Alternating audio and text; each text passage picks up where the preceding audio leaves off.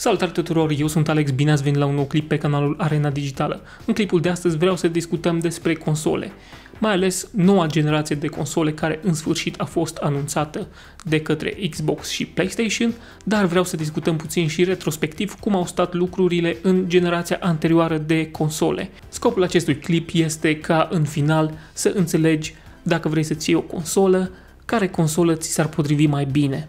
Personal o să-mi iau ambele console pentru că vreau să fac teste pe acest canal și după părerea mea fiecare sistem are beneficiile lui, dar știu că nu toți își vor permite să-și ia ambele console și poate să-și facă și un calculator de gaming serios. Ei bine, deci să vedem ce este important să știm atunci când alegem o nouă consolă sau dacă ar trebui să rămânem la calculator.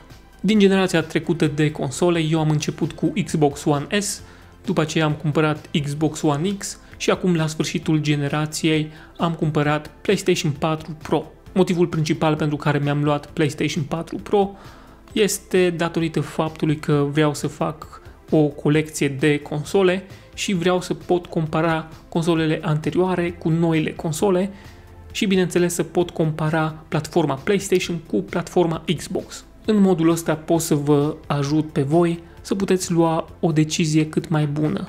Eu vă voi spune care sunt preferințele mele, dar bineînțeles preferințele diferă de la un jucător la altul pentru că fiecăruia îi plac alt tip de jocuri și în funcție de acest lucru unele platforme sunt mai potrivite decât celelalte. Și pentru că foarte mulți vor fi interesați de acest lucru, vom trece prima dată prin performanța acestor console. Ei bine, în generația trecută, primul Xbox a fost cel mai slab din toată generația de console pentru televizor. Vreau să spun asta pentru că există și Nintendo Switch care este într-o altă ligă, așa că nu vom discuta despre Nintendo Switch în acest clip. Mai departe, Microsoft a îmbunătățit platforma Xbox lansând Xbox One S, dar în final Xbox One S a fost doar o revizie foarte, foarte puțin mai bună decât primul Xbox. În principal a fost o consolă mai uh, silențioasă, mai arătoasă. După Xbox One S, ca și performanță, avem PlayStation 4. Deci PlayStation 4 a reușit să ruleze jocurile puțin mai bine decât Xbox One S. Iar spre finalul uh, generației a fost lansat PlayStation 4 Pro și Xbox One X. PlayStation 4 Pro, deși are marketingul în general pentru 4K, foarte puține jocuri rulează nativ 4K. Se folosesc niște sisteme, niște algoritmi care fac upscaling, adică scalează rezoluția de la 1440p către 4K. Având ambele console Xbox One X și PlayStation 4, este clar că Xbox One X poate rula mult mai bine jocurile nativ în 4K. Așa că PlayStation 4 Pro se află pe locul 2 ca și performanță, iar Xbox One X este cea mai performantă consolă pe care o poți cumpăra la momentul actual. Bineînțeles, toate astea se vor schimba în momentul în care apar noile console. Așa că să vedem cum stăm cu noile console. După părerea mea, noile console vor fi foarte apropiate ca și performanță, dar dacă este din nou să ne uităm la numere și la specificații, Xbox Series X va fi puțin mai performant decât PlayStation 5. Iar PlayStation 5, varianta digitală, bineînțeles, nu va avea nici uh, o diferență de performanță comparativ cu PlayStation 5, varianta cu disc, și cea mai slabă consolă va fi Xbox Series S. Dar trebuie să menționăm că cea mai slabă consolă, Xbox Series S, va putea totuși rula jocuri la rezoluție 1440p până în 120 de frame-uri pe secundă, ceea ce totuși este foarte bine la 300 de euro. Încă un lucru important de știut la partea de performanță, Xbox Series S va fi poate nu la fel de performant ca Xbox One X, pentru că Xbox One X totuși poate rula majoritatea jocurilor în 4K. Sunt unele jocuri care chiar rulează în 4K 60 FPS, dar majoritatea jocurilor rulează în 4K 30 FPS. Așa că va rămâne de văzut, pentru că Xbox One X va scădea ca și preț, probabil mulți utilizatori se vor întreba dacă să-și ia noul Xbox Series S sau Xbox One X. După părerea mea, Xbox One X încă este o consolă foarte bună, eu o utilizez aproape zilnic și pot să spun că oferă o performanță impecabilă. Al doilea mare considerent pe care trebuie să-l avem în vedere atunci când cumpărăm o consolă sunt jocurile.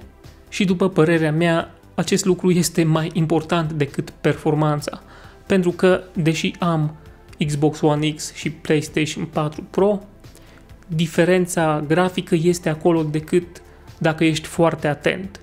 Dacă tu îți vei cumpăra doar una dintre aceste două console, nu vei avea de ce să te plângi. Așa că, cum stăm în această categorie? Ei bine, după părerea mea, Sony va avea cele mai multe jocuri exclusive, uh, jocuri care sunt puțin diferite și jocuri care creează foarte mult entuziasm printre pasionați. Dar personal eu probabil voi fi mai încântat de Xbox Series X pentru că eu sunt un mare pasionat de jocuri de curse. Și pe Xbox avem, bineînțeles, seria de la Forza, și anume Forza Horizon și Forza Motorsport. Din păcate, pe PlayStation nu găsesc ceva care să poată să aibă același nivel de gameplay ca și Forza Horizon.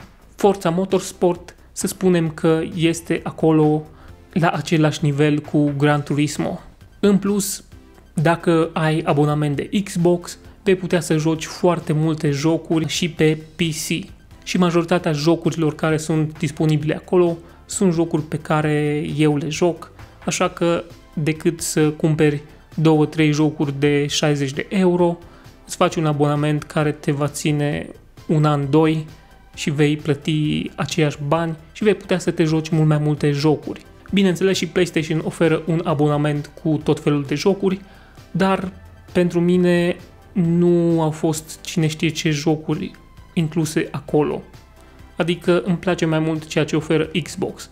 Dar, bineînțeles, voi puteți să vă uitați pe internet, să vedeți lista de jocuri și să decideți pentru voi care sunt jocurile care vă plac. Deci, în încheierea acestui clip, vreau să vă spun, nu vă uitați prea mult la cât de performant e un sistem, cât de bine se vede pe un sistem sau pe altul, pentru că în final va conta ce jocuri ai disponibile pe consola pe care o cumperi. Și din punctul ăsta de vedere, dacă nu ești sigur ce vrei să alegi, probabil Sony va fi varianta mai bună pentru tine. Dacă știi exact de ce vrei să alegi Xbox, atunci e clar, nu mai trebuie să-ți explic. Sunt curios dacă voi sunteți interesați de jocul pe console și dacă plănuiți să vă cumpărați o consolă. Dacă da, care consolă vă place cel mai mult, care consolă vreți să o cumpărați. Și nu uitați că avem și Nintendo Switch.